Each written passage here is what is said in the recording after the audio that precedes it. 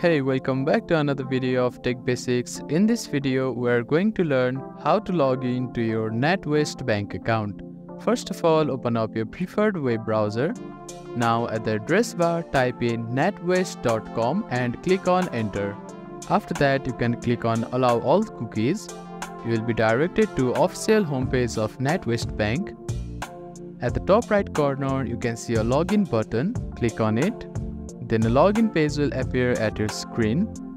You need to type in your customer number, which is your date of birth, followed by your unique identification number. If you have forgotten your login details, click on this link and follow the instructions to reset it. You can check this box if you want to save your user ID on this website. Now click on continue button. After that, from your PIN number, you need to type in your first, second and third number now from your password, you need to type in your first, fourth and fifth character here. If you have forgotten your PIN or password, click on this link to reset it. Now click on next button and you will be logged into your NatWest bank account.